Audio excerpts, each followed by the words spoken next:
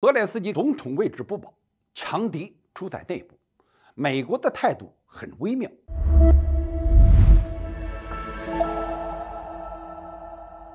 各位网友，大家好，欢迎收看《浩南观点》。最近，泽连斯基的日子可不好过。一方面，前段时间去美国要饭，结果拜登只拿出了两个亿，就给他给打发了，并且表示呢，以后能支持多久。就支持多久，这和他之前需要多久就支持多久的说法相比，明显感觉没了气势。可想而知，美国其实是不想在乌克兰身上再花大力气了。另一方面，乌克兰内部复杂的情况也束缚了泽连斯基的手脚。此前，在俄乌冲突打得最激烈的时候，乌克兰内部爆出了大量腐败案件，这下呢？可算让美国找到了不愿意援助乌克兰的借口了。毕竟，美国的援助是给他们用来打俄罗斯的，又不是给乌克兰的这些官员享福的。正因为如此啊，泽连斯基开始对乌克兰政府内部进行整顿，可也导致内部矛盾发生激化。有报道称，泽连斯基的支持率已经被反超了，而反超他的人呢，正是乌克兰军队的总司令扎鲁日内。目前。这位总司令的支持率远超泽连斯基将近二十个百分点，可以说，泽连斯基能不能在总统的宝座上待到俄乌冲突结束，还是个问题。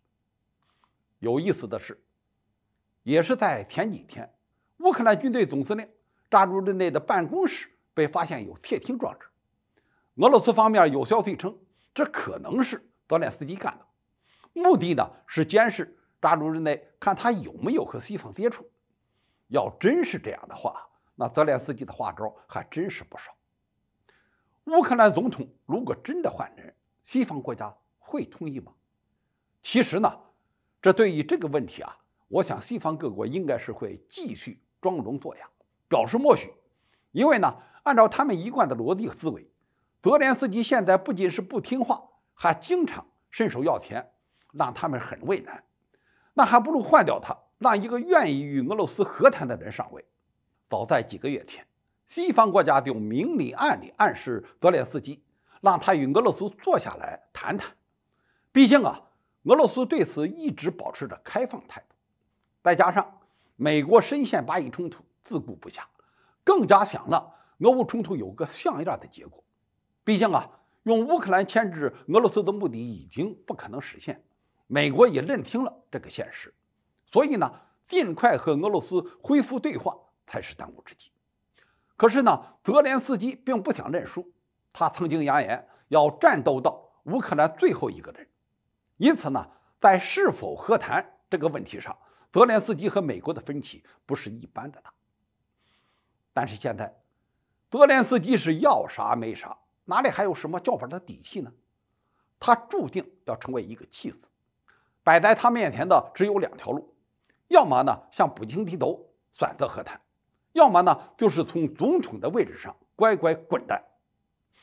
面对这种两难的状况，迫于无奈，泽连斯基此前的强硬态度似乎呢也有了一丝丝的动摇。